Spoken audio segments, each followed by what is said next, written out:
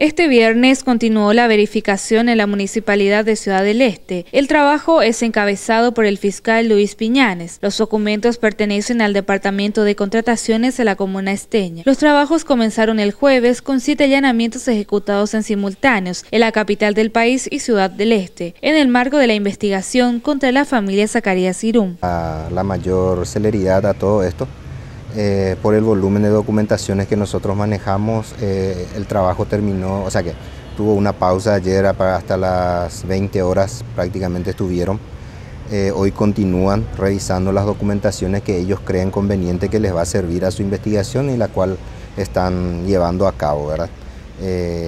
están verificando, como ya saben, los, documentos relacionados a las licitaciones contrataciones públicas, contrataciones directas y concursos de ofertas que ha realizado la municipalidad en los años 2014, 15 y 16 en este momento.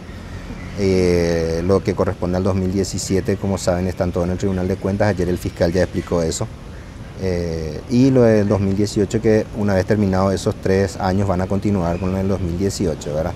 Entonces ahora están abocados de lleno para poder verificar todas las, verificar todas las documentaciones que ellos creen conveniente y que están dentro del pedido de allanamiento.